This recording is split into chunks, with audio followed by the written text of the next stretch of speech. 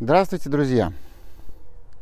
Пока я сейчас делаю очередное более-менее большое видео из моей серии роликов про филологов-классиков в эпоху фашистской диктатуры, я решил немножко развлечь вас э, тем, что интересно мне сам, самому и может быть не так актуально, но с другой стороны, разве может искусство быть неактуальным. Я решил сделать маленькое короткое видео, посвященное Джону Барклаю, или как у нас его часто называют сейчас Баркли, э, и его Аргениде. Почему? Ну просто потому, что я уже долгие, долгое время, ну несколько лет, с тех пор, как я вообще э, познакомился с этим писателем новолатинским 17 века и с его Аргенидой, тому минуло уж э, примерно 7 лет. Я неоднократно оказывался в Риме и знал, что он здесь похоронен.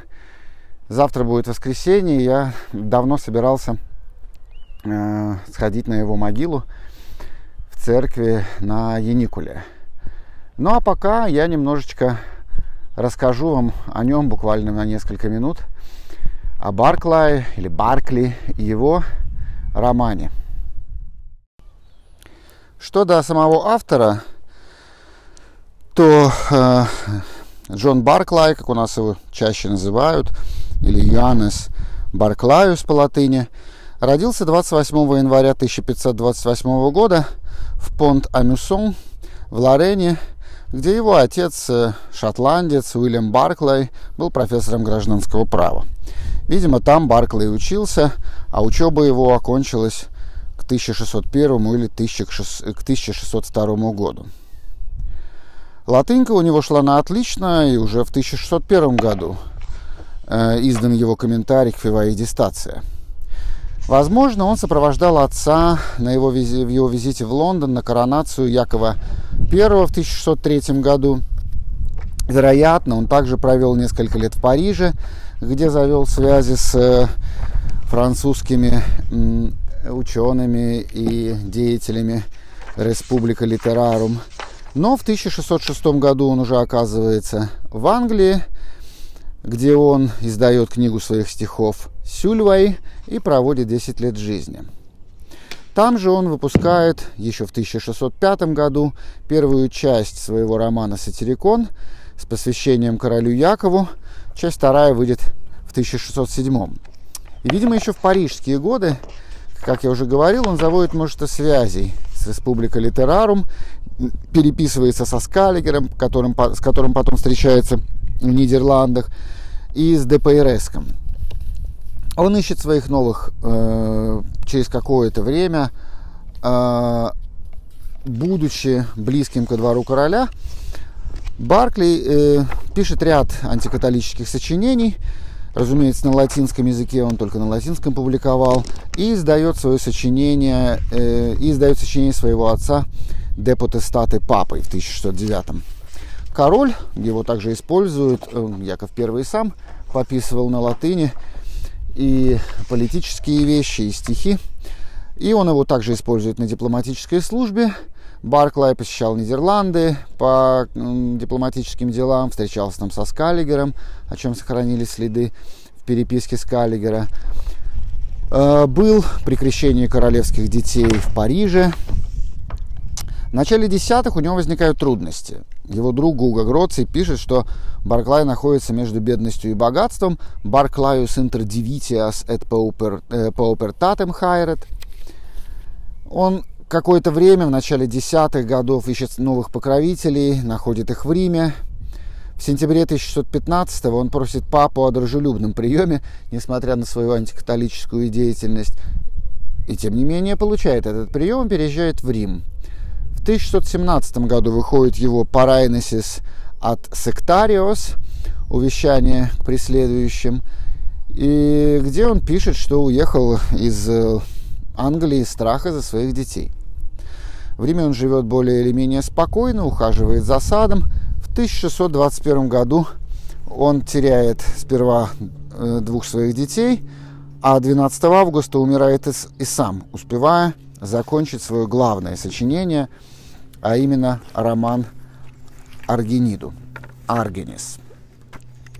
Сохранилась его эпитафия, которую, в частности, напечатали э, последние издатели Аргениды 2004 года в серии «Библиотека Латинитатис Новой» Марк Райли и Дороти Хубер. Э, интересная довольно эпитафия. Не сомневаюсь, что есть у нее какие-то толкования, где написано, собственно, следующее, что «Exequilone redux hic naso reconditur alter, cui liber exitio rursus utante fuit» видер атиллес келус квот дуксера тессе такендум, видит хик этте китум, нолует эссе скелюс. Вот, где говорится, что вот первый э, Овидий, здесь покоится второй, а вот первый Овидел, Овидий пощел, что преступление, ну, о преступлении, которое он видел, нужно молчать. А этот увидел и считал, и, и э, не захотел молчать о нем. Интересно, что пишут э, об этом исследователи. Что до самого романа, о котором я впервые узнал из книжки Марка Феморали э, «Республика Литерарум», то это, как сам Баркли отмечает в предисловии, совершенно новый жанр. И некоторые считают, что это вот некая смесь античного романа с политическим романом. Собственно, Барклай изобрел политический аллегорический роман, где, э,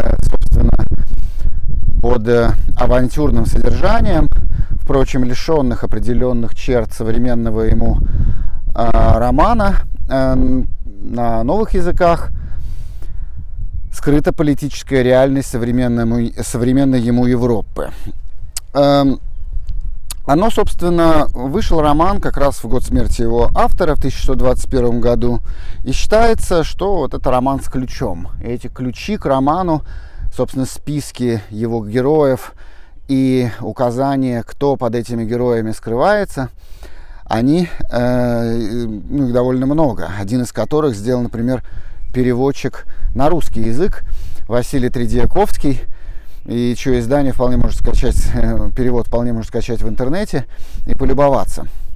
Содержание романа, ну, мне трудно описать, вы можете его посмотреть как бы и в русской Википедии, тут вполне подробно, я так понимаю, они составители этой статьи просто пересказали то краткое содержание, которое описано в издании э, Райли и Хубер.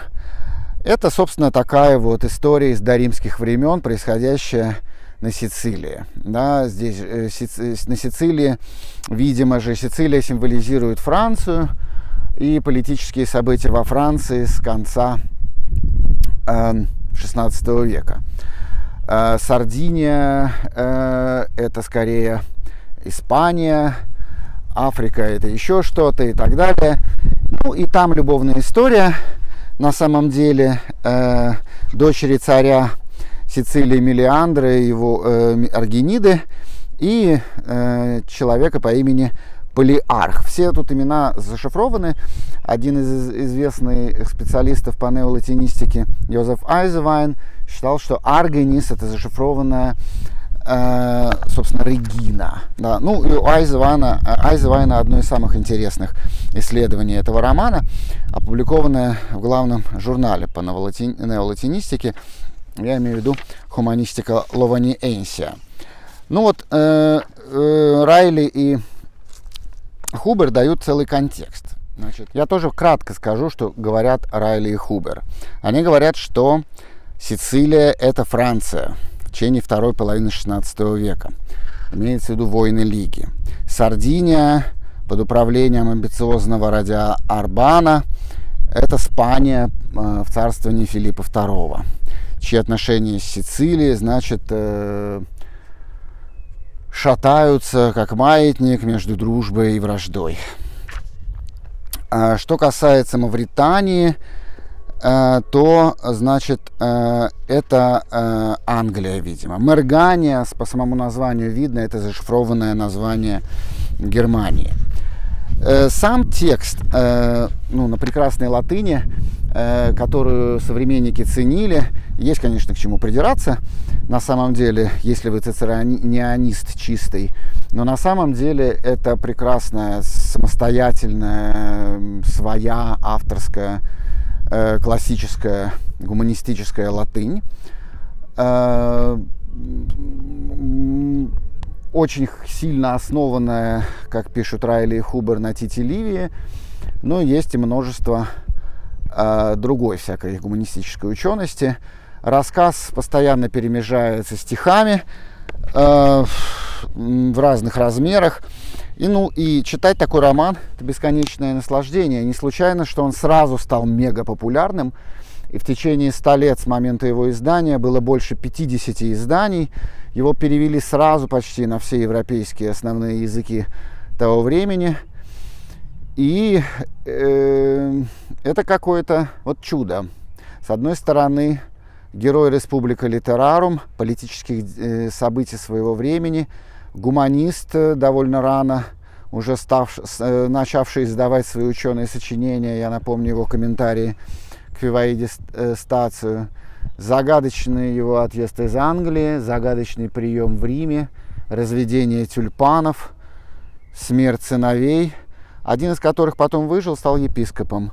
Жена, по-моему, француженка, умерла уже в 50-е годы 17 века. В общем, две загадки. Автор и сама эта Аргенида, которая потом положит начало вообще латинским романам, из которых, наверное, самый известный роман норвежца Хольберга об Итер Субтерранеум. Спасибо за внимание. Надеюсь, мой поход к могиле Барклая увенчается успехом, и я вам о нем расскажу. Пока.